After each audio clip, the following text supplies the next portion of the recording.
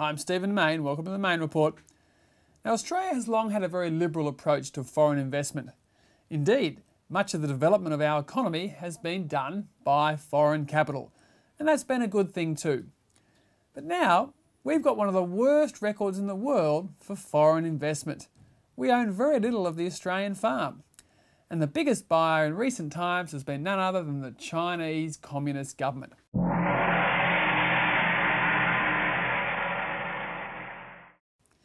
Here's a list of the big seven Chinese investment plays over the last year.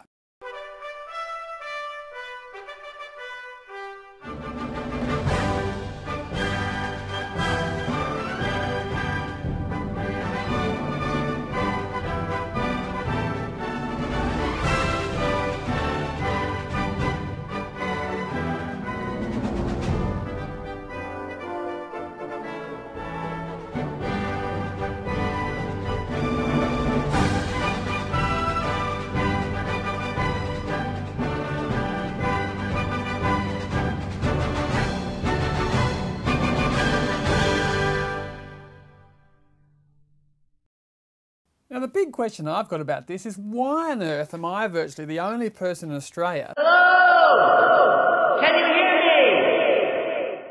who's speaking out on this issue and trying to cause a bit of debate? I haven't yet heard a single Australian politician raise concerns about all these Chinese communist investments. And the contrast is pretty stark indeed when you look at what happens in America. This is what Hillary Clinton said over the weekend about China. We're going to get tough on China. It's time that we said, wait a minute, this is not working. We export jobs to them. They import lead-laced toys, contaminated pet food, and polluted pharmaceuticals that actually ends up killing people to us right here in Indiana and America. Boy, that really is over the top. Now, this is how I raised my concerns on Sky News over the weekend. My only concern about the broader issue of, uh, of Chinese government investments is that China is a communist totalitarian state. Now, have a look at the way the Business View host, Helen Dalley, seemed to suggest I was actually going over the top with my commentary. All right, Stephen, can I read you back something that you, you wrote on crikey.com this week?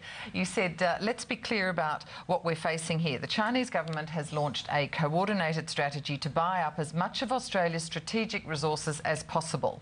The extraordinary shopping list is before the revelation that another dozen Chinese applications are currently before the, the FIRB. Now, can I put to you, are you being too emotive about this? And in a sense, how is this different to the British, American, and Japanese investment that we've seen in Australia, particularly in resources over the past one, two, three, four decades? Well, the British, uh, Japanese, and American investments were individual companies making their own decisions.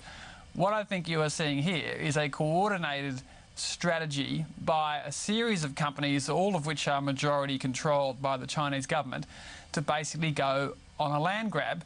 Given our woeful foreign investment record and the concerns expressed by the Americans, surely we can just have a decent debate about Chinese government takeovers in Australia.